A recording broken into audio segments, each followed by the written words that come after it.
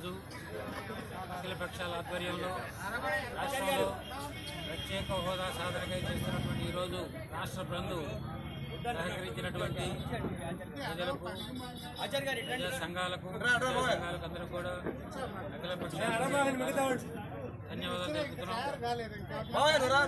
ఈ రోజున మన దేశంలో స్వతంత్రం వచ్చిన కాటి ఆ రోజు నుంచి స్వతంత్ర పోరాటం కాటి నుంచి ఈ రోజు వరకు కూడా నిరసన రూపంలోనో ఉద్యమాల రూపంలోనో ఏదైనా సాధించుకోగలిగాం కానీ ఏ ఉద్యమం చేయకుండా ఏది సాధించలేదు. ఈరోజు మన ముఖ్యమంత్రి గారు ఈరోజు బంధువుల వల్ల ఒరిగేది ఏం లేదన్నారు. కానీ ఆ రోజున ఆంధ్ర రాష్ట్రం ప్రత్యేక రాష్ట్రం కోసం పొట్టి శ్రీరాములు గారు చేసింది కానివ్వండి తదనంతరం విశాఖ ఉప్పు కోసం తెల్లి శివనాథం గారు కానివ్వండి తర్వాత ప్రత్యేక రాష్ట్రాల కోసం ఏదైనా ఉద్యమాల ద్వారా కానీ ఎవరైనా ఏదైనా సాధించారు. ఈ రోజున మనం ప్రత్యేక హోదా సాధన కోసం అఖిల పక్షాల ఆధ్వర్యంలో ఈ ప్రత్యేక హోదాను సాధించుకొని భవిష్యత్ తరాలకు మన రాష్ట్ర అభివృద్ధికి కూడా పాటుపడటానికి ఈ ఉద్యమం చేస్తున్నాం. ఇలా అధికార పార్టీ దీనివల్ల ఎవరికైతే ఏమైనా అన్నప్పుడు గత నాలుగు సంవత్సరాలుగా వాళ్ళు ఏం చేశారు? మరి ఉద్యమాల ద్వారా రానప్పుడు వాళ్ళు సాధించవచ్చు కదా?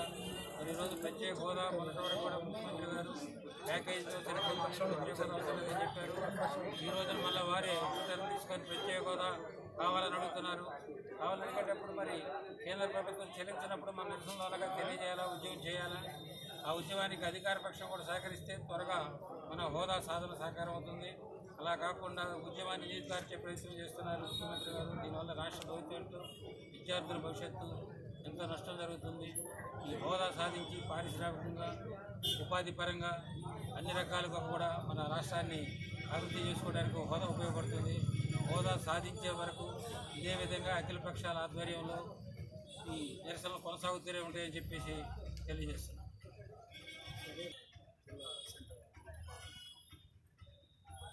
ఈ హోదా కావాలి. అందరికంటే కూడా ప్రకాశం జిల్లా వాళ్ళకి ఎక్కువ కావాలి. ఎందుకు కావాలి? నేను ఇక్కడ ఒక మాట చెప్తున్నాను దీని మీద చాలా చర్చ నడుస్తుంది.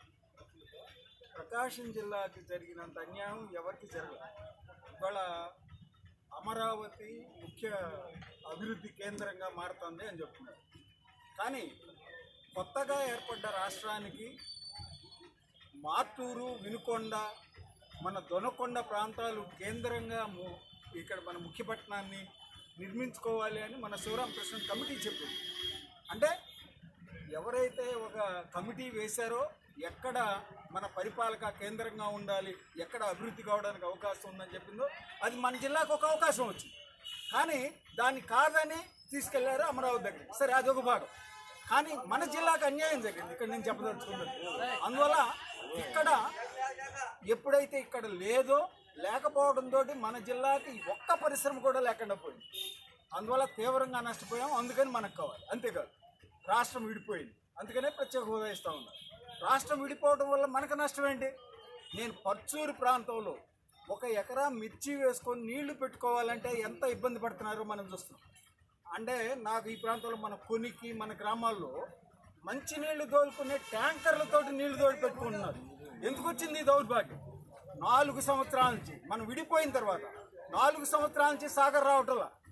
ఎందుకు కారణం? ఈరోజు తెలంగాణ వాళ్ళు మాగాణ్ వేసుకున్నారు మన దీని కింద ఎడమ కాలువ కింద. కానీ కుడి కాలువ కింద మనకు మాత్రం నీళ్ళు రాలేదు.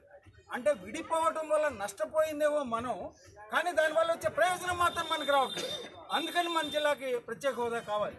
అంతేకాదు ఇక్కడ రాష్ట్రం మొత్తంలో ఉమ్మడి ఆంధ్రప్రదేశ్లోనే వెనకబడ్డ మూడు జిల్లాలు చూసుకుంటే ప్రకాశం జిల్లా ఒకటి. అంటే అక్కడ చూస్తే మహబూబ్ నగర్ అక్కడ విజయనగరం ఇక్కడ ప్రకాశం జిల్లా. ఇప్పుడు కొత్తగా ఏర్పడి పదమూడు జిల్లాలు ఏర్పడితే పదమూడు జిల్లాల్లో ఏడు జిల్లాలు ప్రకటించారు ఇప్పుడు వెనకబడ్డ జిల్లాలుగా. ప్రకాశం జిల్లా మాత్రం అందుట్లో లేదు. అంటే వెనకబడ్డ జిల్లాలుగా ప్రకటించి దీనికి బుందేల్ఖండ్ తరహా దీన్ని ఇస్తాము అని చెప్పి ప్యాకేజ్ ఇస్తాము అని చెప్పి చెప్పారు. ఇవ్వకుండా యాభై కోట్లు విధులిస్తున్నారు. అదొక భాగం. కానీ ఆ యాభై కోట్లు కూడా రాకుండా ప్రకాశం జిల్లాకి దారుణంగా జరుగుతోంది. అందుకని ఈ జిల్లాని వెనకబడ్డ జిల్లాగా ప్రకటించాలి అని అడుగుతున్నాం. విడిపోయినందువల్ల నష్టపోయింది ఆంధ్రప్రదేశ్. అందులో ప్రత్యేకించి ప్రకాశం జిల్లా. కానీ ప్రకాశం జిల్లాకు మాత్రం ఏ వసతులు వనరులు లేకుండా చేస్తున్నారు. అందుకని చేయాలంటున్నాం. అదే కాకుండా ఈ రాష్ట్ర ప్రభుత్వాన్ని కూడా మేము డిమాండ్ చేస్తా ఉన్నాం ఈ సందర్భంగా. ప్రకాశం జిల్లాలో ఆరు ప్రాజెక్టులు ఉన్నాయి. ఈ ఆరు ప్రాజెక్టులు మన భవనాసి రిజర్వాయర్ కానివ్వండి లేకపోతే మన కోర్సుపాడు Polireddy Erram Polireddy lift irrigation scheme కానివ్వండి లేకపోతే గొళ్ళకమ్మ స్కీమ్ కానివ్వండి లేకపోతే వెలుగొండ ప్రాజెక్టు కానివ్వండి. ఈ ప్రాజెక్టులన్నీ ఆరు ప్రాజెక్టులు ఐదు వేల కోట్లు కనుక కేటాయిస్తే మన ప్రకాశం జిల్లా తతిమా జిల్లాలతో సమానంగా మనకు ప్రత్యేకంగా కాదు. వంద ఎకరాల పొలం ఉంటే మనకి ఇరవై ఒక్క ఎకరాలకే నీళ్ళు వస్తూ ఉన్నాయి నీటిపారుదల పదకొండు ఎకరాలకే కాలువల ద్వారా వస్తుంది. తజ్మాత్ కూడా బోర్లు బావులు చెరువులు. వర్షాలు లేకపోతే అవి కూడా రావు.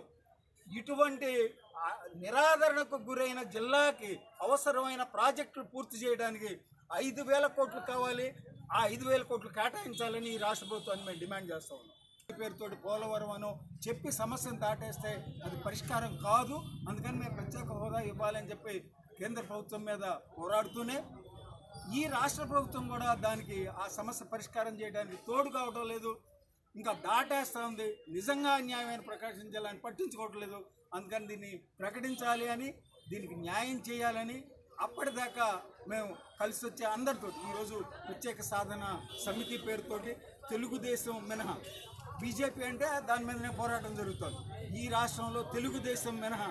ప్రతిమ అన్ని రాజకీయ పార్టీలు ఒక వేదిక మీదకి వచ్చి ఈ సమస్య మీద పోట్లాడుతూ ఉన్నాయి. అందువల్ల ఈ పోరాటాన్ని ముందుకు తీసుకెళ్తామని పరిష్కారం చేసేదాకా పోరాడతామని ఈ సందర్భంగా చెప్తూ సహకరించిన మిత్రులందరికీ ధన్యవాదాలు.